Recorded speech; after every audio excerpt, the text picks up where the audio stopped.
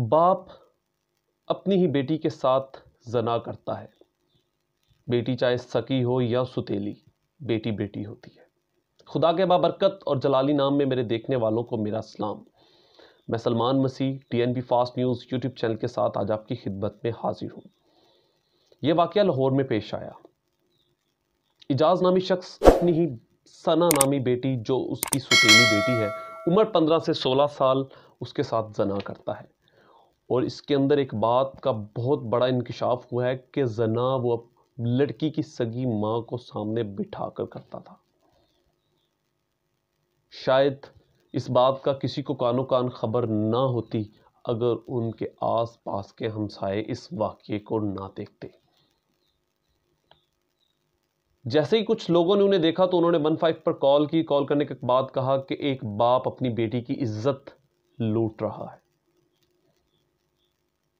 उसी दौरान इजाज नामी शख्स वहाँ से भाग जाता है। कुछ दिनों के बाद इन्वेस्टिगेशन के बाद वो इजाज, वो हरामी पकड़ा जाता है।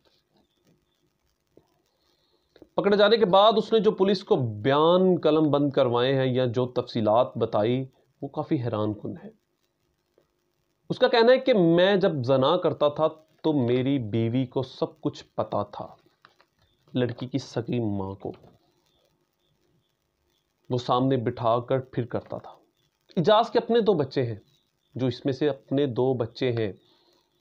एक की उम्र छह साल, लड़की की उम्र तीन साल।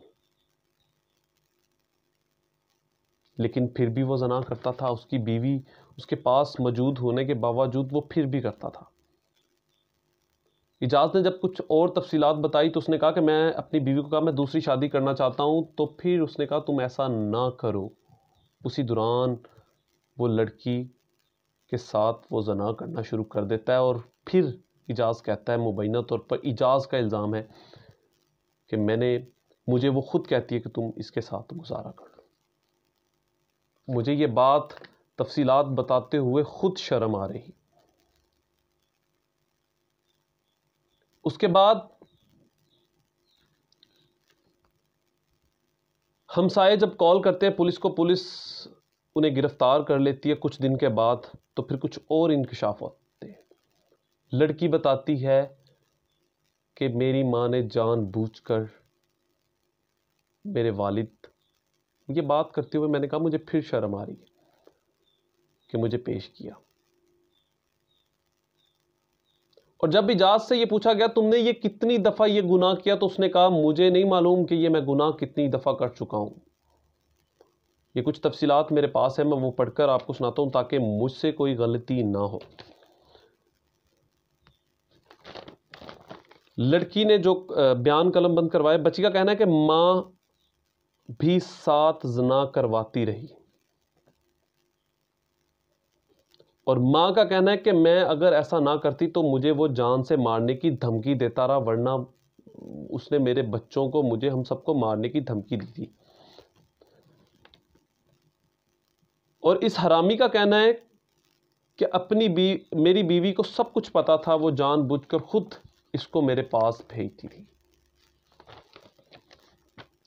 पुलिस के बाद जब इन्वेस्टिगेशन की तो इन्वेस्टिगेशन के बाद ये सब चीज़ें रिकॉर्ड की गई और रिकॉर्ड में एजाज ने अपना ये गुनाह मान लिया है कि मैंने सना के साथ ये गुनाह किया है।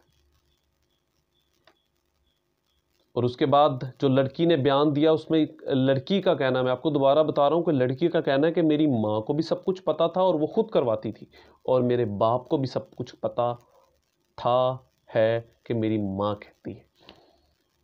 शर्म आती है हमें। खुदा हम पर, हमारे बच्चों पर, हमारी सोचों पर, हम सब पर अपना करम और अपनी रहमत करे। और ऐसे ालम दुनिया में जो वाक़ात पेश हो रहे हैं, इससे पहले कि ऐसे वाक़ात हमें और देखने में या हमारे अंदर और ऐसी बुराइयाँ खुदा हमें इस जहान से ले जाए। शुक्रिया।